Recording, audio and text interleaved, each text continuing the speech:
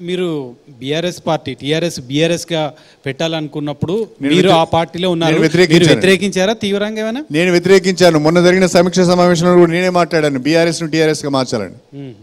ఎందుకు అంటే సక్సెస్ కాలేరని మీకు అప్పుడే అవగాహన సక్సెస్ అని కాదండి. టీఆర్ఎస్ అంటే అందులో తెలంగాణ ఉందండి. తెలంగాణ అనేది ఒక సెంటిమెంట్ అదే పోతే ఇంకేముందండి అక్కడ? కేసీఆర్ జాతీయ రాజకీయాల్లోకి పోవాలి. జాతీయ రాజకీయాల్లో ప్రధాని కూడా జాతీయ రాజకీయాలకు పోయి చేసేది ఏముందండి?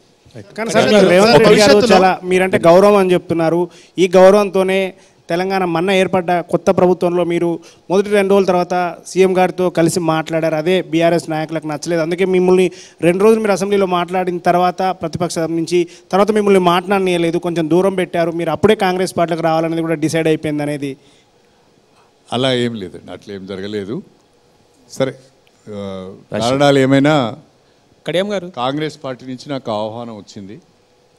ఆ కాంగ్రెస్ పార్టీ ఆహ్వానం వచ్చిన తర్వాత దాదాపు ఒక నాలుగైదు రోజులు ఆలోచించుకొని నిర్ణయం తీసుకున్నాను. రైట్ రాజ్ కడియం గారు మీ చేరికను కాంగ్రెస్ పార్టీ శ్రేణులు ఎలా జీర్ణించుకుంటూ ఎలా యాక్సెప్ట్ చేస్తున్నాయి?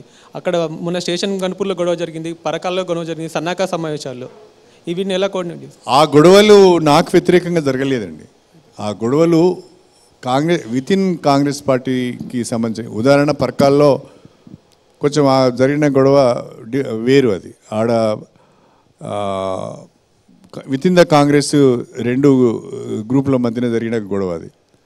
అట్నే ఇక్కడ లింగాలగన్పూర్లో కూడా అది నా మీద జరిగింది కాదు. ఆడ కూడా సేమ్ ఒక ఇద్దరు లీడర్ల మధ్యన ఉన్న గొడవ వాళ్ళ కాంగ్రెస్ పార్టీలోని ఇద్దరు లీడర్ల మధ్యన జరిగిన గొడవ తప్ప ఇప్పటి వరకు ఏ ఒక్క సమావేశంలో కూడా మమ్మల్ని అడ్డుకోవడం కానీ మమ్మల్ని ఎందుకు వచ్చారని నిలదీయడం కానీ ఎక్కడ జరగలేదండి అందరూ యాక్సెప్ట్ చేస్తారు